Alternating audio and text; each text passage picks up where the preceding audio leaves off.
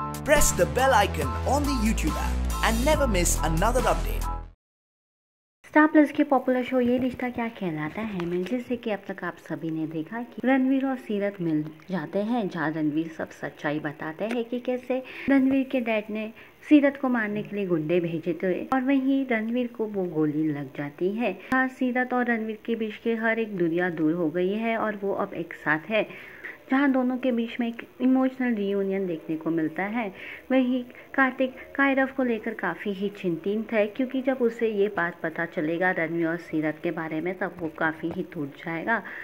जहाँ कार्तिक और सीरत कायरव से बात करते हैं और उसे रियलाइज़ करवाने की कोशिश करते हैं कि सीरत और रणवीर एक दूसरे से प्यार करते हैं और सीरत रणवीर से शादी करना चाहती है।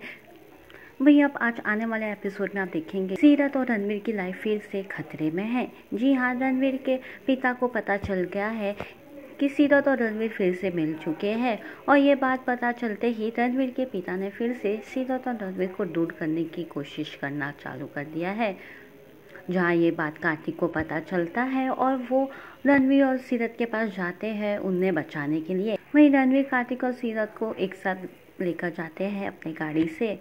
अब देखना यह है कि शो में क्या एक ट्विस्ट आएगा।